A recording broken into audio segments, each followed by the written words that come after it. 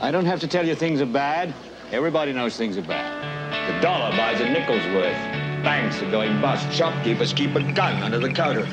Punks are running wild in the street, and there's nobody anywhere who seems to know what to do, and there's no end to it.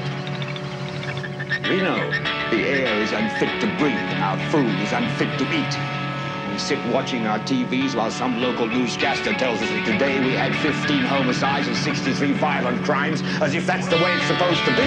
We know things are bad, worse than bad. They're crazy. It's like everything everywhere is going crazy, so we don't go out anymore. We sit in the house, and slowly the world we're living in is getting smaller, and all we say is, please, at least leave us alone in our living room. Let me have my toaster and my TV, my steel-belted radios, and I won't say anything. Just leave us alone. Well, I'm not you alone.